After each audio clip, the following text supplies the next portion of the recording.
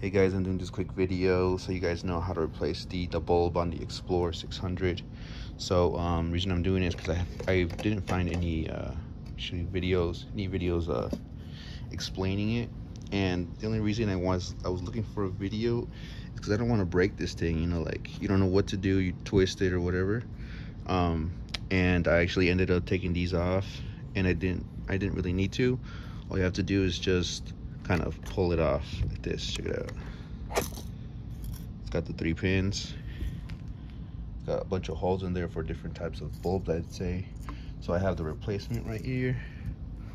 All it is is just lining up the three. You know how there's uh, one-sided, so it kind of aligns like that. You can see. Push it all the way in, and there you go. Easy peasy.